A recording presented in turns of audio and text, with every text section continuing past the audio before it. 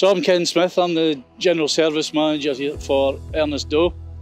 Um, so everything involved with the service department, our agricultural side, construction, as well as the horticultural business.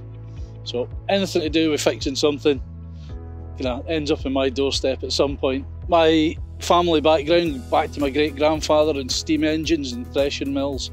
So it's always been in the family, some sort of engineering, especially in agriculture.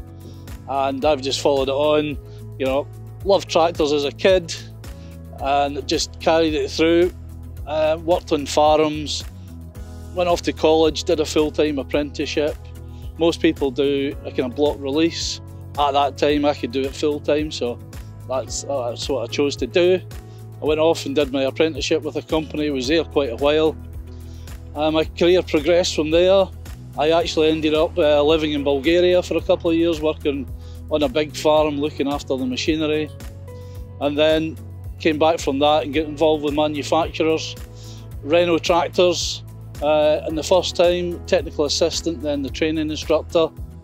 And from there, um, Massey Ferguson or AGCO I got involved in their training centre. So I was a training instructor, ended up in marketing for Massey and Challenger, and then latterly a Valtra product specialist. That took me to places around the world that I just never knew I could go or didn't even know existed. It was an amazing experience. It was Pakistan to Brazil, you know, Ukraine, Poland, you know, everything. It took me all around the world. I would never have got that experience if I hadn't started at doing the apprenticeship. And then latterly, I've done the sales job for Deutz Tractors, uh, service manager, group service manager, and now here at Ernest Doe.